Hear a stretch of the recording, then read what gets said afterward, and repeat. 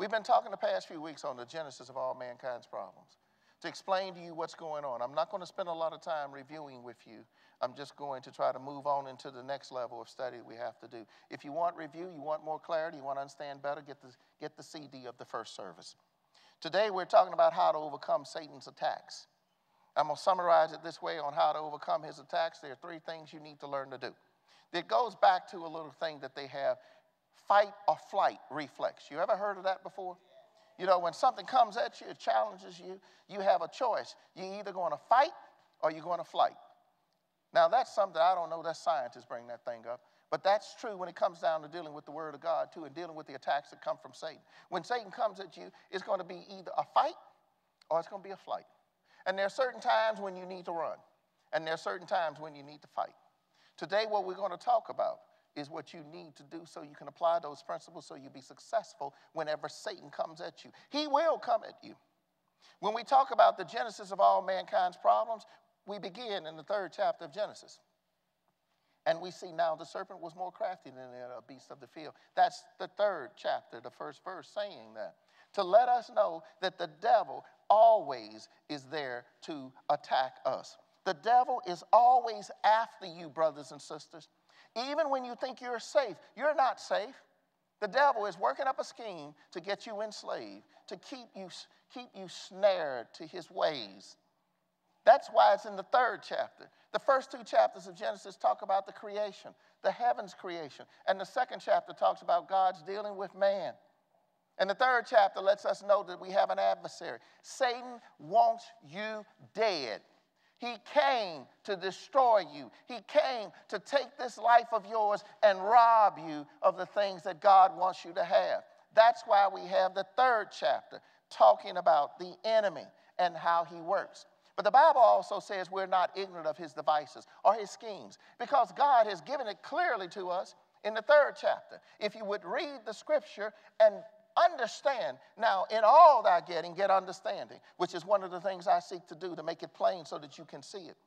In all thy getting, when we read it over, we see these things here throughout all the scripture, what God intends for us to do when this enemy attacks. He will attack. He's scheming on you at night when you're asleep. He's worse than some of those vicious women that are out to get you while you're sleeping. They're conniving and scheming. That's what mama used to tell me to be careful about a woman. Don't make them get scorned because they will. They will be thinking about how to get you. Well, the devil's worse than that. He will never relent.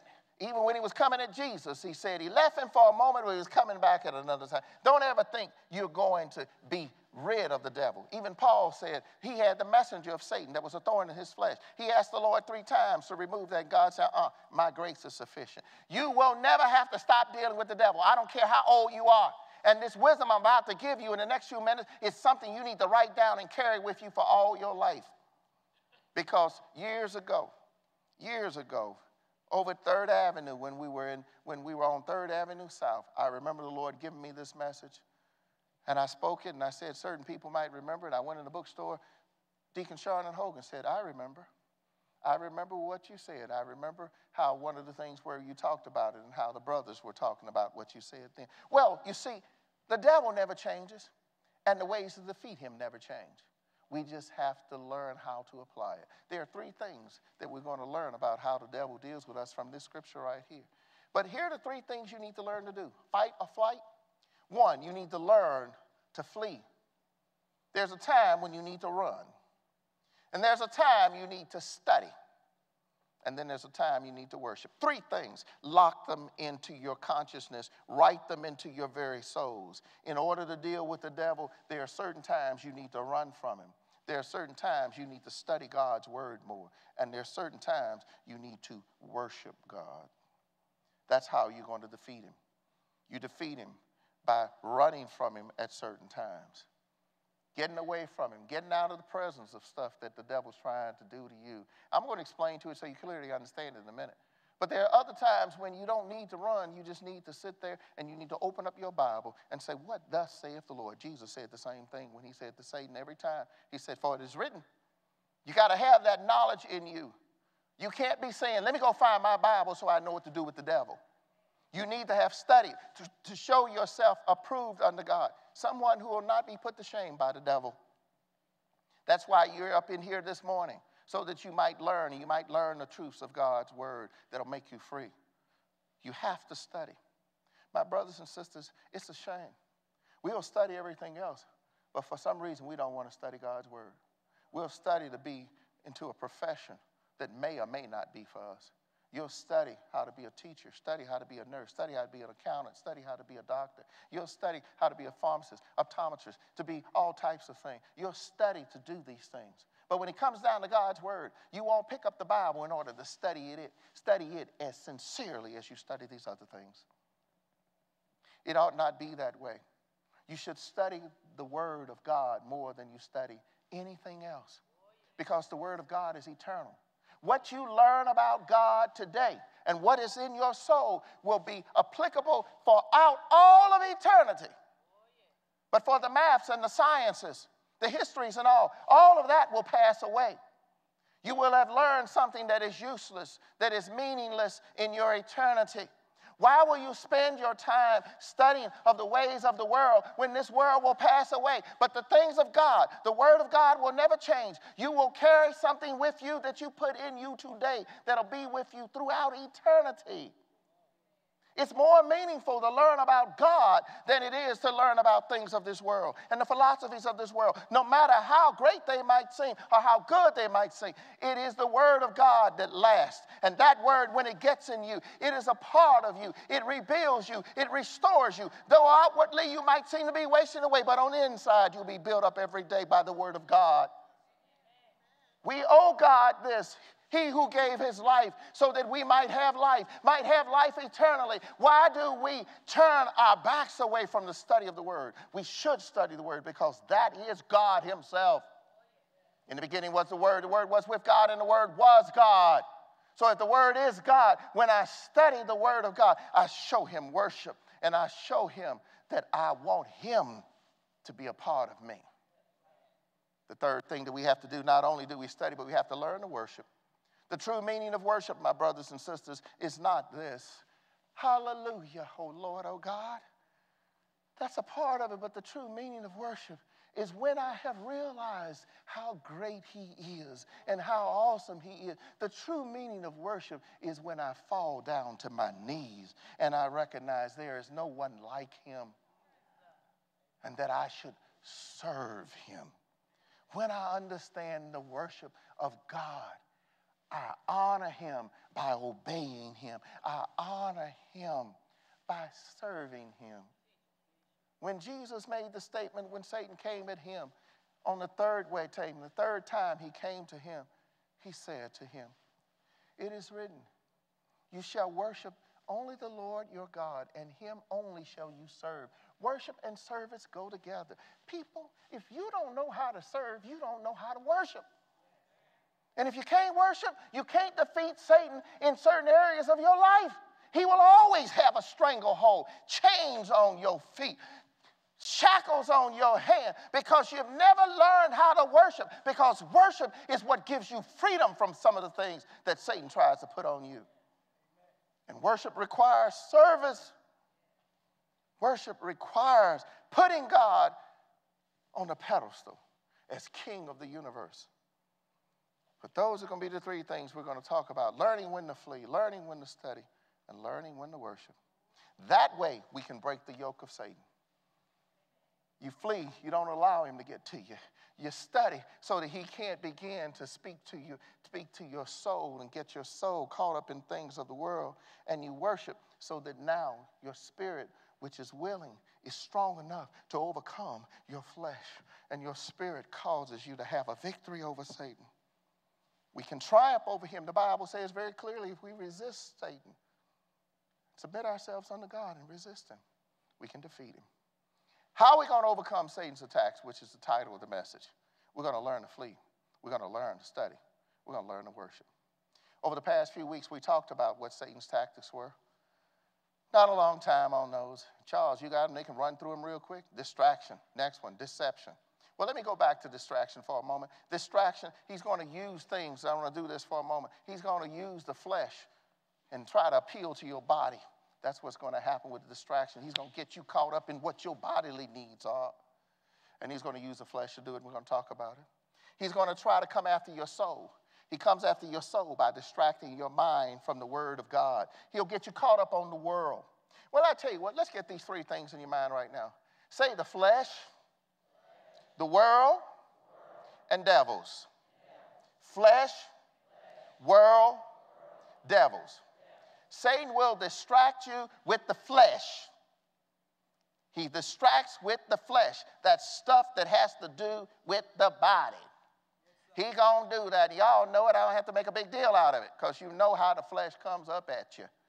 And then he's to distract you with the world. The world, he's going to appeal to your soul and make you want to have that car, want to have that, that, that boat, that house, those clothes, those shoes. He will appeal to you with things of the world in order to distract you from the word of God. He will do these things. We are not ignorant of his devices. Understand this and be free. And then he will come at you with demons. Demons will haunt you. They will come at you in order to get you to turn away from the worship of God in your spirit. So you're going to see the flesh, the world, and the devils. They're coming at you. They come at you and they correspond to different areas of your body. The flesh will come at the body. And I'll simply tell you, you can write it down. You have the whole story in a minute. You run from when the flesh comes at you coming at your body. Your body is weak.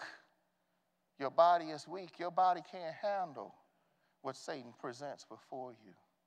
Run from that. And then when Satan comes with the world in order to entice your soul so that you will devote yourself to study of the, of the material world, to study things that are dealing with what you went to college for. He'll put all of this and show you the money you're going to make when you finish school and show you how you can be rich and how you can have a good house, have a car, have a family, all of those things of the world. He's coming after you with the world in order to get your soul to hunt after those, to chase after material wealth in order to pull you away from the Word of God. Therefore, you're going to offset what the devil comes at you with the world, with the Word. And then when he comes at you for your spirit man to get you to think not of your eternity, but of your temporal, what's happening right here and now. He'll have demons do that. He'll get demons to get you to focus on you need this, you need that, you need to have this, you need to have this, you need to have this. Oh, this is going to give you peace. Joy is going to come from this, joy in that. He gets you to focus on the material world, ignoring the fact that man is a living soul, that you will live after this world. Question is will you live with God or will you live with Satan? Life is choice driven. And if you don't learn how to apply these principles that I'm giving you today, the devil will get in. He will deceive you because that's what he works on. He'll get you focused on the wrong thing. You will be majoring on the minor. You'll be talking about stuff that's irrelevant, caught up in that, while he's doing something in another direction. And so that's what we do. He does distractions in order to pull you into, and I'm teaching this, I don't need to teach this anymore, in order to pull you into deception. Deception of what God says, making you think something different. Did God really say? To make you begin making excuses of what God said. No, that ain't what God said. Deception. For God knows in the day that you eat of it, you will be like Him. And then He calls us doubt, which is the third thing doubt comes up in your mind. Well, maybe God didn't mean it that way. Maybe when God said, Thou shalt not kill, He didn't apply that to my own body. You know, because if I have this child, folk will know that I was cheating on my husband, or folk will know that I was a fornicator, or folk will know that this is Mr. So and so's baby and he's married to Miss So and so. And if I have this child, the baby's face might look just like the daddy. And then, so it's better that this child not come to work. Or maybe he will plant doubt and deception when God said, Thou shalt not murder. He doesn't mean that with a child in your womb because a child in your womb is not a child in your womb. The child in your womb is a fetus, ain't nothing but a bunch of cells. That's all it is. So it's okay. And furthermore, would God want you to bring a child into the world when Mr. So and so might get set down? Or maybe people might know that you were cheating, or folk know you've been playing around, or what? Who, who knows? Uh-uh. We don't need, maybe it's far better for this child not to be born. And then after a while, if the child is born in the world and there ain't enough money to take care of the child, think about the life of that child. How can I provide for another baby? I ain't got no money to take care of nobody. It is more merciful to not allow that child to have to suffer through the years of her or his life and not have the money, it's better to take the life of the child, not a child, but to end these cells so that they don't come into the world. Don't that make good sense? Some, no, you can say no, but some of y'all already thought you've already been through it, you've done the process. The logic already worked because you have doubt that God said, Thou shalt not murder. Well, a woman has a right over her own body. Pro choice. Choice. What choice did the baby have? Baby didn't have no choice. Well, it wasn't a baby, it was just some cells. Well, God said, Before I formed you in the womb, I knew you, Jeremiah. So God knew that baby when that baby was conceived. But we move on beyond that. Then you get discontented. Oh, I'm doing this. I don't mean to be teaching this. You know what discontent is? Dissatisfied with what you got. God gave Israel everything. But we're not going to spend a lot of time. Discontented. Next word, denial. We begin to say, well, surely, mm-mm. I'm sure God didn't mean that. God didn't mean it that way. God didn't, mean it's different. God meant it this way. We deny God's word. Then we dishonor God. You know that. We dishonor him, and we do that all the time. You just dishonored him when you can't worship him. You just dishonor him when you can't lift up your voice. God gave you a voice. Who gave man his voice that he might speak? God gave it to him, and you can't even lift up your voice to give him praise. When God gave you that voice, you just dishonored God to dishonor God. Look down the level. If that's number six, you're getting ready to go into disobedience. So therefore, you don't sing, you don't praise, you don't worship, you don't lift up your voice. He said, make a joyful noise. And so if you don't make a joyful noise, you're in disobedience because you just dishonored God. All the way down the line, play with this and you'll see what I'm saying. And the final word that I thought that should have been in there and I didn't put it in there, the Lord didn't give it to me in the first place, was death. But that's the word dismissal because he dismisses you. And that same word, when he dismisses you, that's death. How does the devil enter in? There are five ways that the devil enters in. How do we know those? We learn them from this. Five ways, five gates that we are weakened. What are those five gates? First of which, through our ears, our hearing.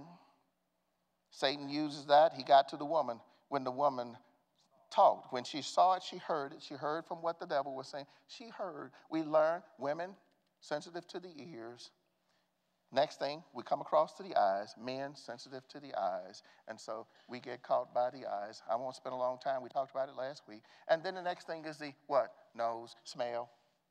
Then the next thing is taste. What's the fifth item, folks? Touch. You got it all. You got it all. So those are the ways in which Satan will use our, our gates to distract us. Now let's talk about this. When he distracts, let's look at the three ways he did it. Go back to Genesis 3 and 6. I'm moving quickly to move very rapidly to get this through. So when the woman saw, distracted by focusing on the body, it was good for food. Good for food for the body. Good for food. That's the flesh. She should have run at that point. She did not. That was his attack. Second attack, when he got her to focus on the soul and not the word, the word, the word of God she focused by saying it was pleasant to the eyes. And what we're talking about here, that's not the eyes that we're talking about here, that's emotion. Pleasant is the word you look at, not the eyes. When she saw, and that's there again, that's good for food for the body. And then focus on the natural by turning away from things of the spirit, desirable for gaining wisdom to make one wise. And so we see there are the ways that Satan is attacking her, the same ways that he attacked Jesus. Now, when it comes down to attacks of the flesh, I simply say this, told you last week run. Just run. Just run. We gave you the ways of the flesh last week. We went through them, very considerable time taken. Galatians 5:19. Bring that up there so you can see it. So the works of the flesh are evident, and they begin and they go through and they go all the way down 19 different things that are works of the flesh. You can read that. And what do we do? when he comes at us with these things that are of the flesh, we run from them. What's the proof? Told you the story of Joseph last week. Now, 2 Timothy 2:22 tells you very clearly, run. Flee also youthful lust. Run. When he comes at you with sexual stuff, when he comes at you with the concept of murder, when he comes at you with jealousies, when he comes, run from it. Don't allow your mind to sit up and think about why she made you mad. Don't let the the, the wrath come out of you. Run, move away from it. Get away from those things that cause you to be jealous. You see somebody else got something, remember, God can give it to you too. Run from those things. Run from the works of the flesh. Run from them. 1 Corinthians 6:18 says, "Flee sexual immorality. Every sin that a man does is outside the body, but he who commits sexual immorality sins against his own body." Don't try to deal with this don't sit up and listen to that man with the music on. Barry White is playing. The candle is on. The atmosphere is set. The lights are dim. Run, because you're going to give it up. Brothers, you go over to the house. You just came by to visit, and she's in skimpy clothes. And you look at her, and she got four eyes looking at you. Run. Two of them coming from the top, two from the middle. You don't need to be looking at that. Run. You got to understand this is the way the devil works. I'm not playing with you, that's the truth. Men got eye problems, women got ear problems. Run. Run. Bible tells us what we have to do. You can't deal with the flesh. No man can hold hot coals to his chest. Go read Proverbs 6 chapter. You can do that. I read, and that's how it came from. So, furthermore, when he appeals to the flesh, you know you overweight. You know you got a problem. Don't sit out in front of the Krispy Kreme shop looking at the donuts in the window. Run! They put them things on there. You see them come out like that and they flopping off. You can just see it flopping in your run. You can see it getting in your mouth. That's the flesh coming at you. The temptation of the flesh. You got a problem with alcohol? Don't go to the club. Run from the club. Don't get caught. Don't think you're strong enough to deal with the flesh. No man is strong enough to deal with the flesh. Run from the flesh. Let me move to the next point. We talked about flesh last week. When you are distracted by his appeals to the soul, thank you, Lord. I can see it. I'm going on real well. See, he'll use the things of the world. The things of the world. He used that fruit to get that woman to, to move away from God when she saw it was pleasant to the eyes, the emotion of the look of that. It was something of the world that she was looking at, and she desired something of the world. People, you can't let the world get you enticed in such a way. You don't need all of those widgets they're trying to sell you on on the television. You don't need that new car. You got a car to get you around. Some folks got to have a car every three years, every two years, every new year. You got to have a car. That's the stuff of the world. That stuff is going to pass away. You got to have that car. Now you all stuck up in debt. You are a slave to the world. I know God wants us, and we lie, the doubt, and all of that comes in. God wants me to have good things. God wants me to have that Mercedes. I know that's God's will for me to have a Mercedes. So you're going to go out and get $60,000 in debt. Now you can't pay your tithe. Because God don't want nobody to repossess your car. What kind of image would that be for a Christian? I mean, you understand, you will find a way that to, to, to make an excuse because the devil will give you all those excuses. But now you are in debt and you can't serve God because you got to serve the bank to pay that car note. Can't give God what God deserves. So here he has put the world in your eye. Stop looking at the world. And when you start going after the world, looking for things that are going after the world, then what you have to do, you have to now recognize the scripture of the word, word of God. It says John 17, 16. Do not, they are not of the world, just as I am not of the world. That's what God says about you and me. You and I have to understand, I don't belong here. This ain't my home. If I don't get the car, it's okay. I'm going to get the chariot in heaven. If I don't get the house I want down here, I will have a mansion in heaven. This is not my home. The world is not our home. Why are we giving our very souls for stuff of this world? This world will not last. Why should I be a slave to the bank for something of the world? Understand this, my brothers and sisters. If I become a slave to the world, I'm subject to the world. When God didn't create me to be the slave to nobody, but to be his servant. One of the worst things I ever did was to go borrow in order to get this church. Shouldn't have done it. Should not have done it. It's a mistake I made. The bank still calls some of the shots for what we got to do, whether we can do this and whether we can do that. I can't do what God would have me to do because I made a mistake. And I openly admit it. Should have paid cash for it. And if we paid cash, we wouldn't have a building with all these extra seats in here. Because you see, I should I didn't realize when God told me to build a thousand and I built 1,500 because the people wanted 3,000. And I called myself being slick. I said, oh, I can be good. The people want 3,000. I know, I feel like I should do a 1,000, but the people want three. So what I'll do is I'll, I'll go up 1,500. Look at what I did. See all them empty seats over there? All them empty seats over there? And now the bank got the, got the money still holding it out over our head. You better learn how to listen to God. Don't let people get you to go. See, you go after the world because then folk talk about, we need a big church, Bishop. We need a church like this. We need a church like that. I got caught up in the world. Look at what Pastor Mike got over there. Look at what them other folk got. Look at what them got. Bump everybody else. God got something better for us, and we need to just wait on the Lord. But I didn't say that.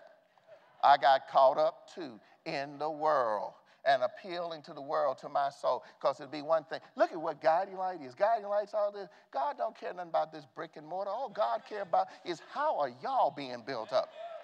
Are you all getting the word of God? That's what matters. When I have to focus on how I'm going to take care of a building, when I need to be taking care of your very souls. And that's what my focus is today.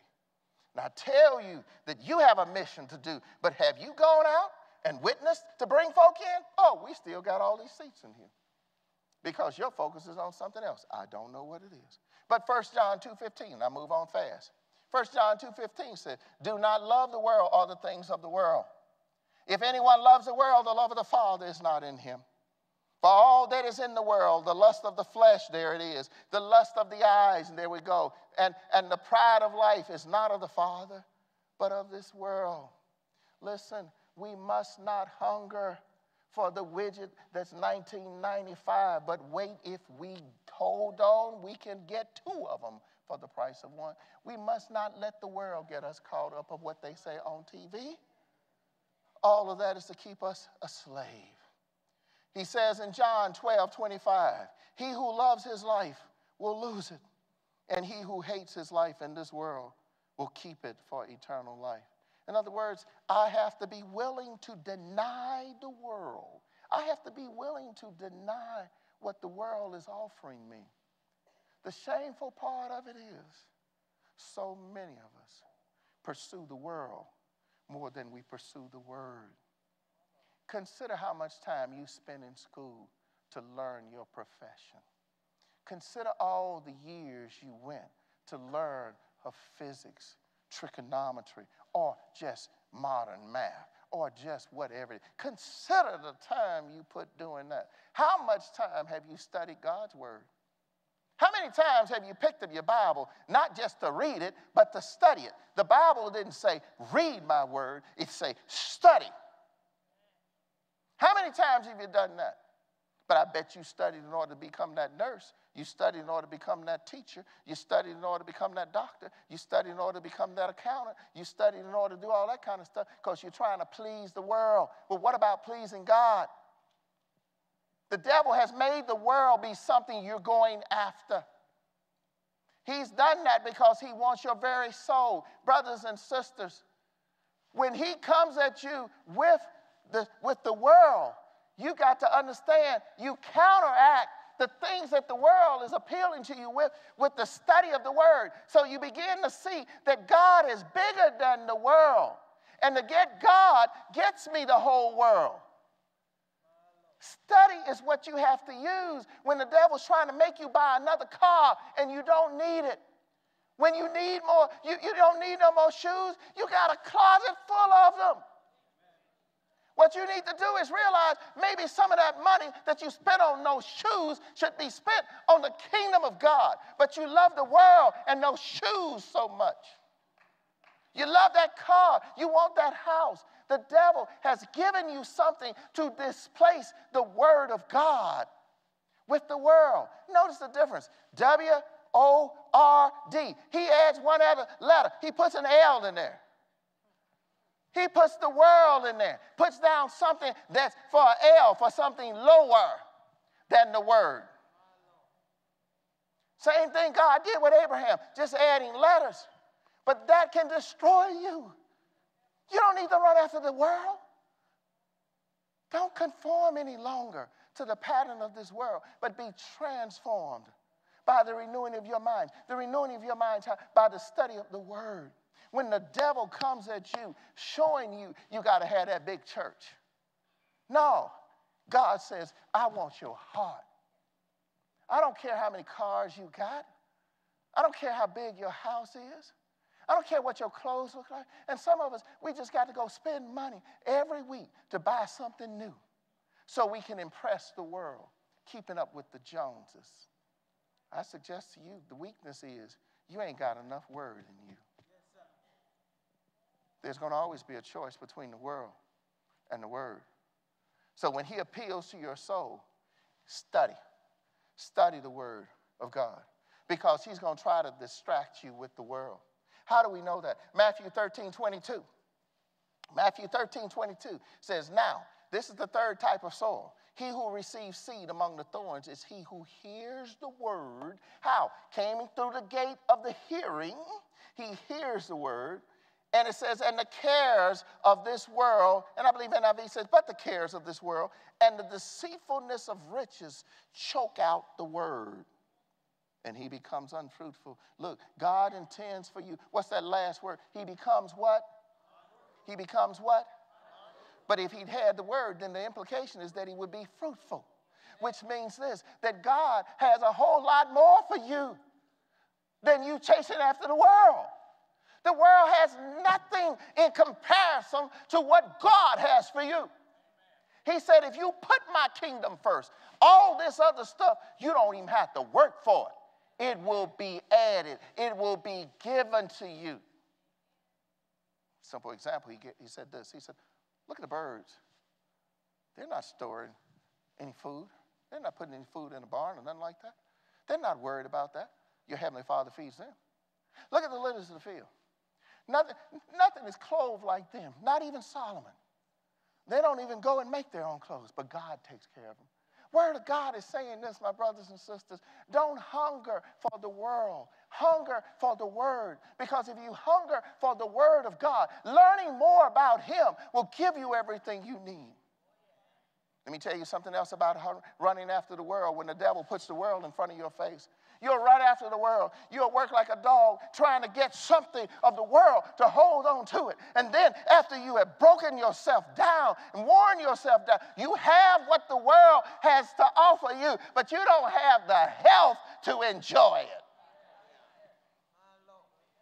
God says if you put Him first, he says, You put him first, he'll give you all these other things, and no sorrow will be attached to it. I suggest to you that when the devil tries to show you the world, that fruit on that tree, how much better it is, you study God's word and you see how much better God is over the world. You see how much God can do for you better than what the world can do for you. You've got to learn to love the Lord with all your heart. Notice there are three things when he talks about that. God has to be first. Love the Lord with all your heart, your soul, here it is, your strength, that's your body. And when he talks about your heart, he's talking about your spirit, the three parts of man. All of this is so abundantly clear, and I'm trying to make it plain. told you to write it down. You learn to flee. You learn to study. And then you learn to worship. I don't have time to talk about worship, but we will talk about worship next week. But you have to learn these things because as long as Satan is coming through your gates, he will enslave you. He will keep you missing out on all God's abundance, guiding light. You know how I figure the best way to pay off this church? Is for every one of y'all to be abundantly blessed of God. If I can get you to be obedient, God will bless you in such a way that in the overflow, your barns will be overflowing. And then I don't have to worry about how this building's going to get taken care of. I'm not going to milk you and tell you, give this, give this, give this, give this. I ain't about that. You ain't never heard that out of me. What God has always given me is to seek first his kingdom. And that is to build in every one of you all the defenses and to give you the ability so that when Satan comes after you with the flesh, you'll know, let me get up out of here. When Satan comes to trying to get you caught up in the world, in the world system, you'll start studying God's word more. And then when Satan comes at you with demons, trying to get you to move away and focus only on the natural, then what you'll do is you'll learn how to worship God for who He is. I might not have all that I want to have, but as long as I got Him, whenever I need something, he will give me my every need at the time I need it. I don't have to worry about what my tomorrow is going to be.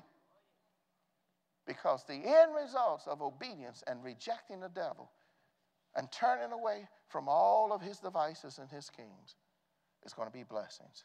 And I know I'm going to receive those. So, as we see here what the world offers, he is the one who received the seed among the thorns, is he who hears the word and cares of this world and the deceitfulness of riches, choke it out, and he becomes unfruitful. Here's what the Lord said, and I finish it with this, I think. This one scripture. Hmm. In Mark 12 29, Jesus said this First of all, the commandment is this to hear, O Israel, the Lord our God, the Lord is one. And he says, And you shall love the Lord, which I just said a minute ago, your God, with all your heart, with all your soul, with all your mind and your strength. Soul and mind being linked together, and all your strength being your body, your spirit, your soul. Give God all. But know this since Satan knows that that commandment in verse 30 says, You shall love the Lord with all your heart, he's coming at your heart. With all your soul, he's coming at your soul and your mind and he's coming at you at your body. At the body with the flesh. And when he comes at the flesh, what do you do? Take off, run. And when he comes at your soul, what are you going to do? You're going to learn to study God's word so that God means more to you than the stuff of the world. Oh, that really matters. Because I've seen in the word that God will meet my every need. And then when he comes after you in the spirit and the things that he's trying to do to disrupt your peace, I learned how to worship Almighty God, the great I am. I come to know who He is. And you know what? He didn't intend for me by the sweat of my brow to receive the bountiful blessings of this world. He intended that it all be given to me when I simply was in an act of obedience. And when I learned to obey, how do I obey? I learned to get Satan away from me by running by studying and by worshiping. And when I have Satan at bay, then I walk in obedience to Almighty God. And the end results of that will always mean increase in blessings in my life. We'll take up the rest.